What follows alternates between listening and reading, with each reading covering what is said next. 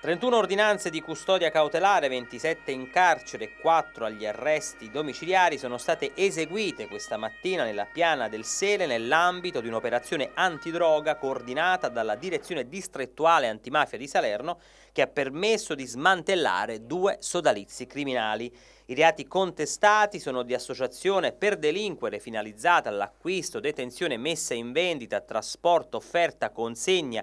distribuzione e commercializzazione di rilevanti quantità di sostanze stupefacenti, in particolare cocaina, marijuana ed hashish. Le indagini condotte dal 2018 dai carabinieri della compagnia di Eboli, guidati dal capitano Emanuele Tanzilli, hanno permesso di porre fine ad un fiorente traffico di stupefacenti condotto da due distinti gruppi criminali facenti capo alla famiglia D'Alterio e alla famiglia di Cosimo Dianese nei territori comunali di Campagna ed Eboli. Napoli. Le due organizzazioni criminali si approvvigionavano delle sostanze stupefacenti nel napoletano e nella zona di Campolongo, mentre gli assuntori di sostanze stupefacenti, tutti maggiorenni, utilizzavano diverse piattaforme social per contattare gli spacciatori e concordare il luogo, la quantità e l'orario per concretizzare la cessione della droga. Nel corso delle indagini i militari dell'arma hanno appurato che la famiglia Dianesi, al fine di non perdere il controllo delle piazze di spaccio diverse volte, ha effettuato azioni intimidatorie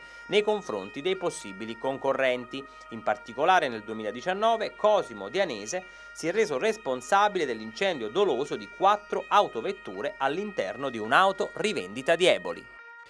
Bene, oggi c'è stata un'altra operazione, dico un'altra perché è la quarta nel giro di un bimestre che copre un po' tutto, quasi tutto il territorio della provincia e che è correlato al traffico e allo spaccio di sostanze stupefacenti. Eh,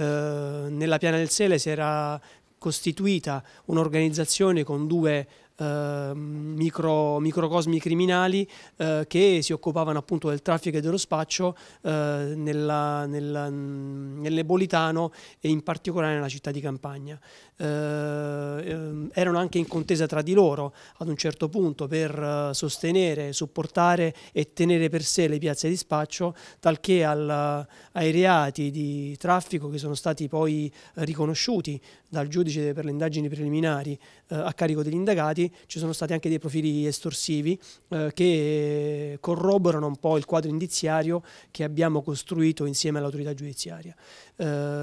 il, il problema del traffico delle sostanze stupefacenti è un problema che eh, è comunque molto pervasivo, molto eh, endemico e strutturato in tutta quanta la provincia e l'Arma dei Carabinieri, eh, così come tutte quante altre forze di polizia, d'intesa con l'autorità giudiziaria, è sempre molto attenta. Il giro d'affari era particolarmente corposo, eh, abbiamo stimato circa un milione di euro annui. Eh, abbiamo fatto anche diversi sequestri nel corso delle operazioni e le, le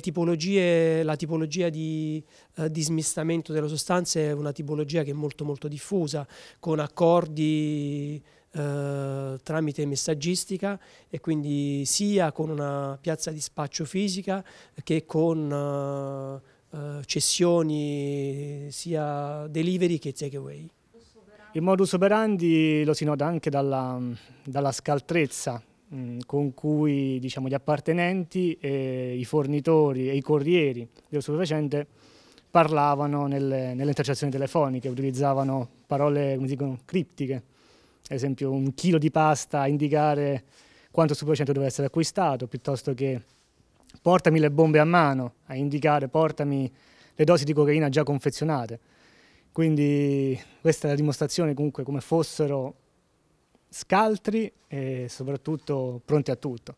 Grazie a Dio non, abbiamo registrato minorenni fra, fra, i consumatori, ci sono anche ovviamente alcuni professionisti, commercianti della, della zona,